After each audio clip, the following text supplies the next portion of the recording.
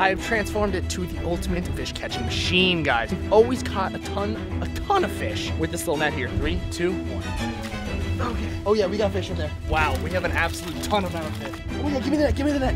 He's swimming down there. No way. What's happening today, Fish Guys? Hope all you guys are enjoying your beautiful Friday. It's Fish Guy Friday today. Uh. It is Fish Guy Friday. There's no other, there's no better day than Fish Guy Friday, okay? Now listen, here's the thing. I know I've mentioned a lot that I can't film over here, but so I'm gonna show you guys right now what technical difficulties looks like. And don't be alarmed, don't be alarmed. We are on it, and you should be getting the video next week. We are on it like Donkey Kong. This whole weekend is gonna be grinding for you guys. But here's what te- technical difficulties looks like. Here comes the sun, so don't be alarmed if I turn into a ghost here. Oh my god, it's bright. So as you guys can see, the garage is completely empty right now because we had a serious problem with our giant pond, but we're getting it fixed literally today. We are grinding today all weekend to get this thing up for you because we want that video on the main channel, Barbs Buzzin, to go out next week. So everyone turn your notification bells on and subscribe because you're not gonna wanna miss. I'm telling you, it's gonna be phenomenal. We wanted to make it, make sure it was perfect. That's why we scrapped it and restarted. We wanted to make sure it was perfect. So don't worry, we're gonna be working all weekend for you guys to get this video up and running because it's gonna blow your socks off, baby. It's gonna be so epic. That's why I keep hyping it up because it's gonna be awesome. We're, the amount of cool fish we're gonna be able to have, have in here, it, it's gonna be insane. So that's why we decided, you know what? Let's remove our technical difficulty, our problem that we're having, and get a new one, and then we'll set it up. So today we're gonna be grinding me, Jack, and Brooke, and this afternoon we're gonna be setting the whole thing up for you guys. And then next week, hopefully, that video will come out because I'm stoked to show you guys. But today, we are gonna have a good one, baby.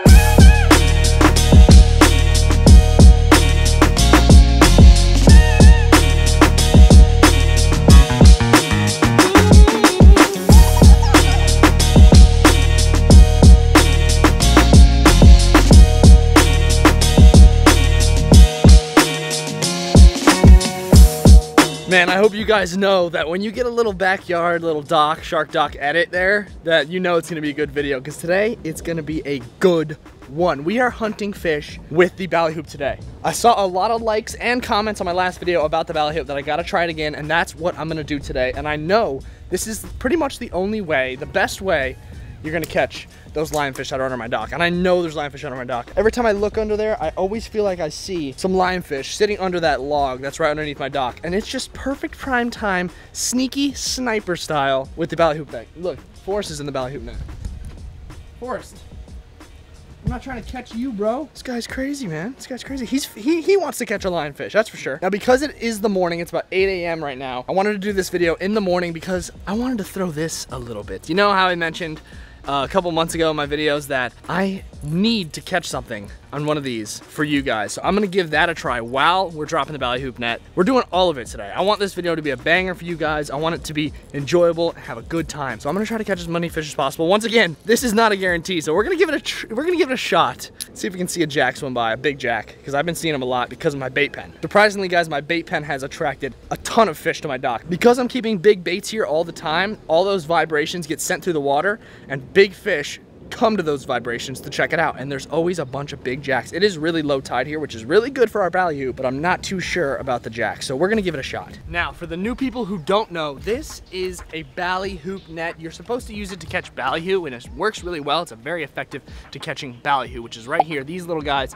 they're really good for bait offshore, bottom fishing bait, or keeping them in the flat line to catch those big kingfish. But I have transformed it, a couple planes flying by, but I have transformed it from just a ballyhoop net for strictly ballyhoo. I have transformed it to the ultimate aquarium fish catching machine, guys. We've used this at the ocean, at the inlet. We've always caught a ton, a ton of fish with this little net here. It's, it's actually genius because the net becomes invisible in the water and the fish do not see it. So we're gonna drop this thing down just to get it fermenting in there. We might drop it a couple times because I am looking for a really cool fish to show you guys. I'm looking to catch something cool. Look at the size of this thing. I mean, this can catch a lot of different kinds of fish. So we're gonna drop it down, let it sit for a while while I try to catch that big jack.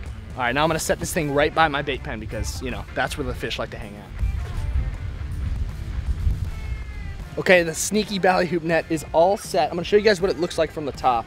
So here it is right here. As you can see, the net is laying down like that on the floor. And as fish swim over it, as I throw shrimp and bread over top of it, all the fish will swim over it.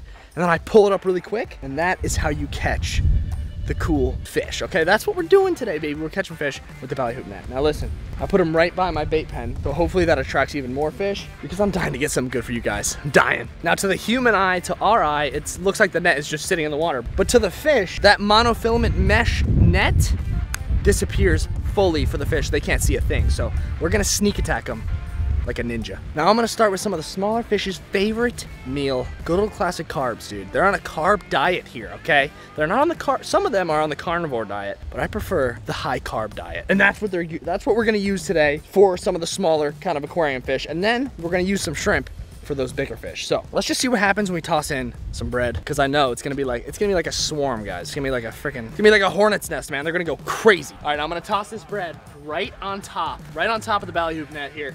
I'm gonna get some pieces to sink to the bottom because that's when the fish go over top of it and then have some of them floating. Just chumming it up here, baby. Chumming it up good.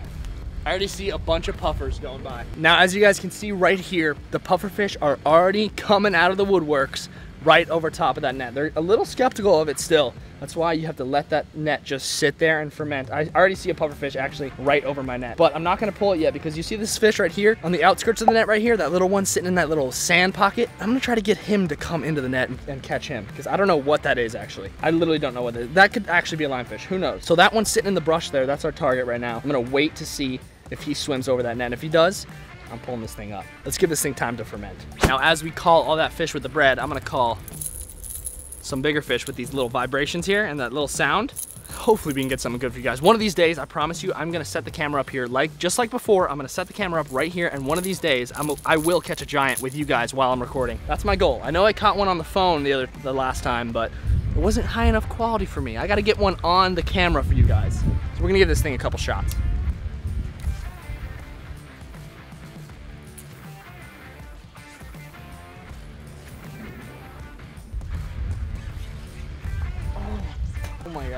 Had one. Dude, I had one.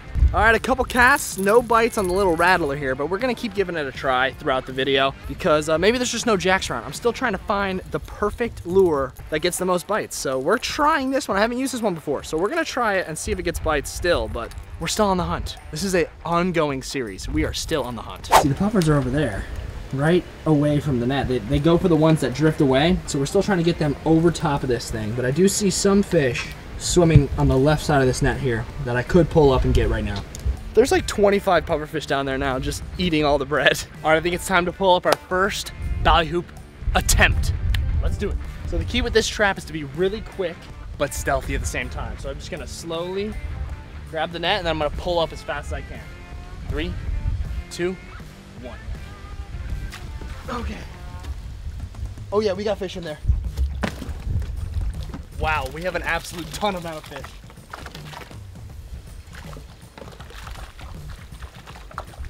And let me show you guys right here, perfect example of why you could get the little fish with the little bread. These guys right here are awesome. These are the same guys I caught in my last trap video. These are the glass minnows, and these are absolutely perfect to feed my baby groupers. So we're gonna keep him in the bucket. Look at all those dudes at the bottom there. There's so many. That's why I love this fish trap, guys. That's why I love this fish trap because you you literally catch so many fish. So they're all sitting right now at the bottom of that trap right there, right at the end. Look, there's like five of them. Oh my God, there's so many pufferfish down there. I caught at least four pufferfish. I caught at least four, guys. All right, I'm gonna bring this net up. I'm gonna show you guys all the fish I caught. And this is only drop number one. This is only drop number one. This is only bread. When we use shrimp, it's gonna be 10 times better. Wow, I caught so many, guys. Let's go. There's so many in there. Wow, that did really, really well for just bread. Now that one trap with bread caught me about, I don't know, 15 fish, and that was just bread. Let's go. So look at these guys in here. I caught a bunch of glass minnows. Look at all these glass minnows swimming around. Those are perfect. I always add those to my aquariums. I always add those to my pond and my tank because my groupers love them, dude. It just gives them meals 24 seven so they can feed whenever they want. It's literally the best. And we caught four puffer fish. The puffers are literally running rampant. It's like a plague here. The puffer fish at my dock are insane. Look, they're talking to me right now. They're talking to me. Let's show you guys. This is the smallest one I caught. Look at that little dude. He's really, really cool. This is just like Pepe the Puffer. Really cool colors on him. That, my friends, is a puffer fish. See, I would put you in my aquarium, but I already have Pepe the pufferfish, so you're not good enough, man. Pepe is the goat. But look at that little dude. Caught four of these guys. See you, buddy. Now let's get the biggest one out of the bunch, which is right here. This is the big hog of the bunch. Look at that hog. That's a good one. Look at that puffer, dude. With just literally bread and a ballyhoop net. That's all you need to catch fish. But we're hunting for something cooler. So we're gonna use that shrimp and I think it's gonna take us to the next level. So look at that dude. That is a cool puffer. See you, buddy. We got two more puffers in here. This one's pretty big as well. Look at the size of that guy. Look at the pattern on him. Get him into the sunlight here. Oh, the ultimate pufferfish. And then we got medium sized, which uh, is also cool. We got all, we got small, medium, and large. What a catch for the first ballyhoop round. See you, buddy.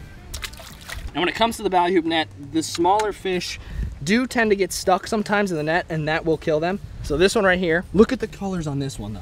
Look at that guy right there. That is, he's like so bright the camera doesn't even focus on him. That is a cool little glass minnow here, perfect for feeding my fish. That's why I am so grateful that I live on this amazing canal because I have free food for my fish all day long. Just catch these guys, feed them everything, feed them to everything, and everything loves to eat these guys. So I'm gonna throw back the ones that aren't doing strong right now, and then the ones that are lively, I'm going to put in my tank. Now, as you can see right here, I just threw in one of the glass minnows I caught into my into my 55 gallon saltwater aquarium. And as you can see, the pompanos already are going after it. And the grouper comes out of nowhere and smokes it at the end there. He just came out and it took about two minutes for him to get comfortable with me right there with the camera. And he smoked that glass minnow. So that's what I'm telling you guys. It is perfect for me to catch these guys because I can feed my tanks with them 24 7 all day because they absolutely love them. Now we're gonna drop down that ballyhoop but this time with some shrimp. Hopefully we can catch something even cooler. All right, take two on the ballyhoop, this time with shrimp. I can almost guarantee, because of the shrimp, we are gonna catch something even better because not everything will eat bread, but everything will eat shrimp. So let's toss this thing in. I'm gonna toss it a little bit farther out. Let's see if we can catch something even cooler, baby. Oh yeah, oh yeah, that's gonna be a killer. That's gonna be a good one. Perfect, I'm gonna leave it right there. Best thing about that one is that it's right in the sunlight, so we're gonna be able to see whatever swims in there. All right guys, I let this one sit for a really long time. I think it's time to pull it up. Guys, right where I just casted, I see a floating plastic bottle. That is not okay. Guys, 2,000 likes on this video and I will go back around my canal just like I did that one time with Fish Guy Hack right here and I will find fish and some trash again and clean up this goddamn canal because it needs to be cleaned. Every day, it needs to be cleaned. I always find bottles in here, and guess what? The fish guys, we always clean it up. Always. Guys, my last video, I asked you guys a question, which your favorite fish was. I got a bunch of great responses, and I'm uh, I'm thinking I might get some of these fish for you guys. We got we got Joey's baby arapaima. That's his favorite fish. We got Michael's betta fish named Steve. That's a great betta fish name. And we got MLG's clown clown trigger. Okay, those are great. I just picked those comments randomly. Three favorite fish of you guys. Those are great fish. You might have to get a clown trigger for this channel. In my pond, that would be fantastic. Now, another question for you guys today. I'm gonna ask you a question in every video. What is your favorite type of video that I post? Because I'm gonna read through the comments, see which one gets the most likes, and then I will recreate that video again for you guys. So comment down below, what is your favorite video from Fish Guy Chris? Let's pull this check and trap. All right, here we go. I let this one sit for a really long time with shrimp on the bottom of it, which was good. Okay. I, I gotta, just like last time, I gotta bring down here to see what's in there. Brooke, give me the net. Oh my god, give me the net, give me the net. He's swimming down there. No way. Look at this guy. Can you see him in the water? Brooke, look at him. You see him right there. He is in the bottom of this net. I'm gonna net him out so it's easier. He's in here. He's in this, I'm telling you. He's in all that gook. Oh, there he is, there he is, there he is. You see him? Look, look at him right there. Look at him right there. Okay, we are getting him out of this environment, out from under my dock. He was, he will not be allowed to stay here. You are being relocated, my friend. Look at him, he's going underneath the sargassum. Guys, this thing is so small. I wish I could pick him up and show you. I cannot believe we got another one. I could literally do that all day long and catch probably 50 of these guys. Literally 50 of these guys. Look, as you can see, he's already, he's still staying inside that weed.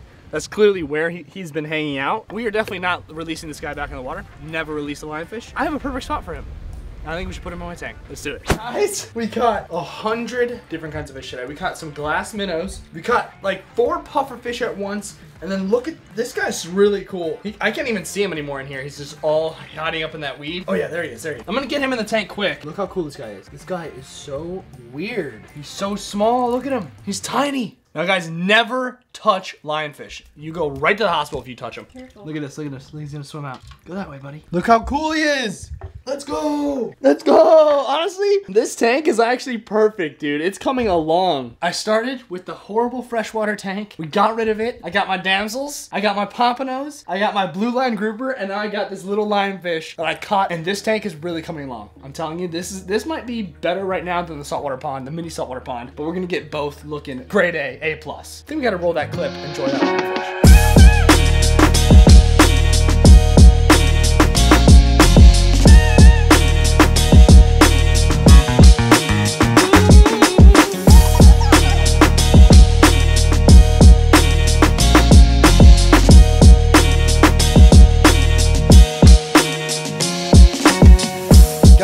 Seen this video right here, go click it, watch it. It's a good one. Thank you guys so much for watching, and I'll see you guys in the next one. Peace.